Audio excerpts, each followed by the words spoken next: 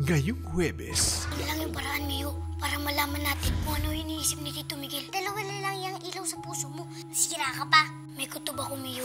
May alam siya kung nasan si Papa. Pag nalaman ko may kinalaman ka sa pagkawala si Tatang, hindi ako magdadalawang isip na ilaglag ka. I hope you can prepare the alphabet as soon as possible. The alphabet will be delivered on. ready ba sila sa next na mangyayari? Okay na sa akin.